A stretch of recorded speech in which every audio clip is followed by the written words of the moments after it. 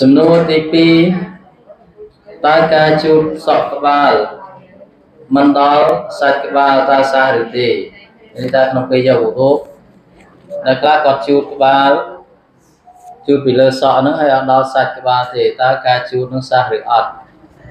សំណួរនេះមានអ្នកធ្លាប់សួរថ្មីថ្មីដែរតាមគាត់តតងសួរមកតាមរយៈសារ គេឃើញថានៅក្នុងការយកវត្ថុគេតម្រូវឲ្យជូតក្បាលគេតម្រូវឲ្យជូតក្បាលឬកូនវត្ថុឬប្រដូវត្ថុគេជូតក្បាលអញ្ចឹងនៅពេលដែលយើងជូតកាលណាសក់នៅលើក្បាលគាត់ជូតនៅលើសក់ហ្នឹងគឺគ្រប់គ្រាន់ហើយមិនចាំបាច់គាត់ញែកសក់ឲ្យដល់ឃើញស្បែកក្បាលមិនចាំបាច់ស្រាមយើងមិនទៀមទាដល់កម្រិតហ្នឹងទេន័យថាកាលណាសក់គាត់នៅលើចឹងគាត់ជូតពីលើចឹងទៅគឺសាហើយតែមកសក់គាត់ធ្លាក់មកក្រោមមួយមួយខ្លះគាត់ជូត ឧទាហរណ៍សក់មកក្រោមជូតឡើងចកេះនេះអាហ្នឹងអត់សាទេ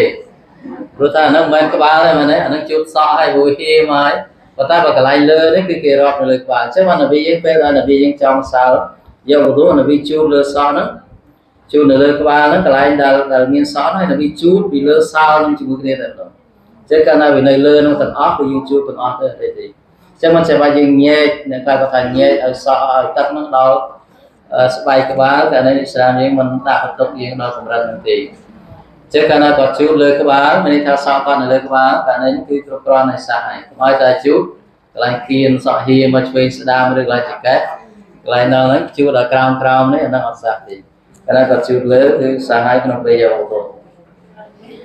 ហើយសំណួរមួយទៀតតើការស្រោតទឹកចូលក្នុងច្រមុះធ្វើឲ្យឆ្លុះត្រង់តែលាងបានដែរឬទេយើងឃើញថាតាមសុណាគឺ ធ្វើទឹកបញ្ចូលនឹងច្រមុះហើយបញ្ចេញមកវិញប៉ុន្តែជាមួយអ្នកដែលគាត់អត់តន់ចេះធ្វើមិនបញ្ញាទេដែលគាត់រៀនប៉ុន្តែគាត់គួររៀនព្រោះនោះវាមិនប្រវាក់ទេគាត់ចំណេះកំបើខ្លាំងពេកកាលណាបើខ្លាំងវាអាចឆ្លោះយើងហើយបើទីទីទៅហើយជាមួយអ្នកដែលគាត់មិនចេះធ្វើទេគឺគាត់លាងសម្អាតគាត់អីដែលគាត់លាងសម្អាតគាត់អីដែរប៉ុន្តែគាត់ក៏បីរៀនសូត្រព្រោះនេះយើងបើយើងដាក់ទឹកក្នុងបាតដៃយើងមកយើងបើតន្តិចហើយយើងស្ទាក់មកវិញអឺកាលនេះគឺ យើងបានអនុវត្តត្រឹមត្រូវតាមសុណានរីសសាចេះពីពួកអ្នកដែលគាត់អត់តន់ចេះធ្វើក៏គ្រាន់តែរៀនសម្អាតក៏មិនបញ្ហាដែរប៉ុន្តែជាការភាសាគឺគាត់ដើម្បីរៀនសូត្រដើម្បីអនុវត្តវាព្រោះនោះយើងត្រូវអនុវត្តមួយជីវិតយើងយកឧទាហរណ៍រាល់ថ្ងៃ